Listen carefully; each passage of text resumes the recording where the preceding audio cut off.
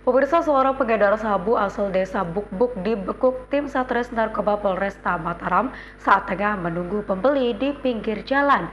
Dugaan tersebut diperkuat dengan ditemukannya barang bukti berupa sabu siap edar yang dibawa pelaku.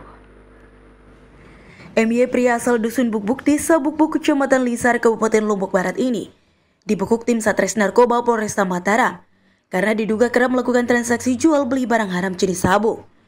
Berdasarkan keterangan pihak yang berwajib, pria 26 tahun tersebut diamankan saat tengah menunggu pembeli di pinggir jalan.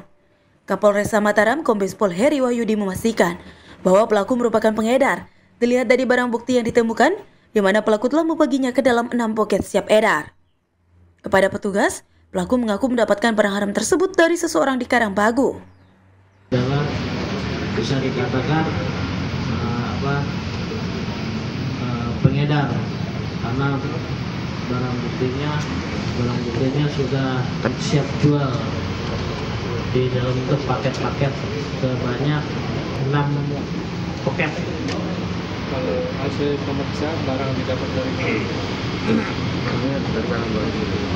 barang didapat dari?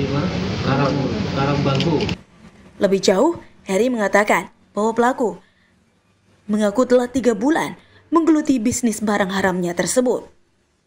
Dari diamankannya pelaku, petugas mengamankan barang bukti berupa sabu seberat 4,54 gram, uang tunai sejumlah Rp375.000, alat hisap, dan barang bukti lainnya. Akibat perbuatannya, pelaku terancam dijerat pasal 114, pasal 112, dan pasal 127. Undang-Undang RI nomor 35 tahun 2009 tentang narkotika dengan ancaman pidana maksimal 20 tahun penjara. Lalu Anjani, Lombok TV Mataram.